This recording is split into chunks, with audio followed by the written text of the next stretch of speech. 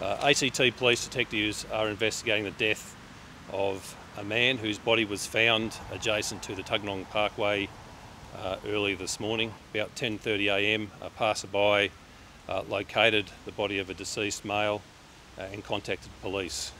Um, we do believe uh, it, at this stage that it may be um, that the deceased male is in fact the missing person, Shane Watson.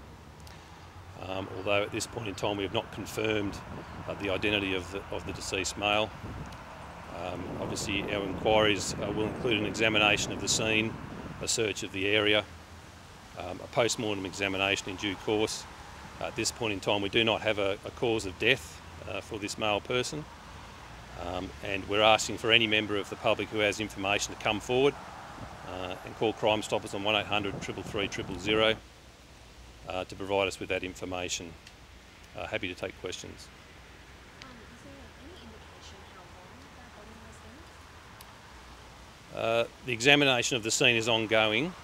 Um, we have our forensics officers at the scene, uh, but it's apparent from you know, early observations uh, that this deceased person has been in situ at the location uh, for some time. Yeah, at this point in time, the cause of death is not known.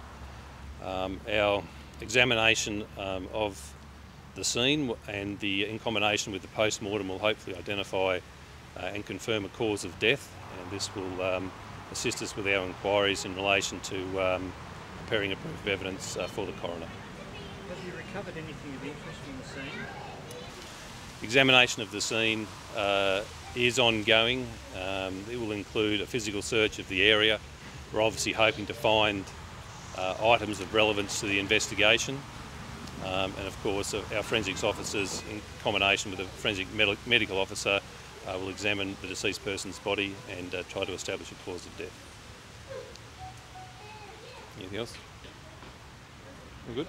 At this stage, is it, um, are there any sort of potential suspects at this point, or is they, um, I guess the police having sort of indication in terms of the circumstances that it might be around this? Uh, We're very pleased that a number of people have come forward to date with information in relation to the disappearance of Shane Watson.